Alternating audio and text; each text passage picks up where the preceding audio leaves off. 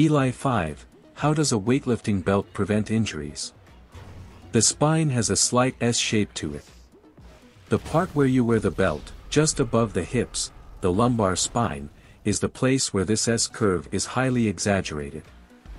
Doing heavy lifts like squats and deadlifts places a shearing stress, imagine two forces pushing in opposite directions on a stiff object, like a pole, on the spine, and that force can be concentrated on the lumbar spine the more it flexes into the S shape.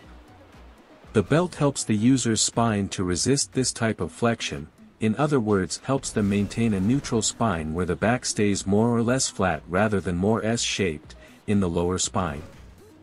Not wearing a belt can easily lead to injuries like bulging discs or worse, caused by the aforementioned shearing stresses. Advanced lifters don't just put on the belt and lift, they use it actively in a technique called bracing. This involves filing the lungs with air, as well as flexing the core muscles against the belt in attempt to make the torso as rigid, and therefore strong, as possible. This stabilizes the vertebral column as much as possible during the stresses of heavy squats and deads.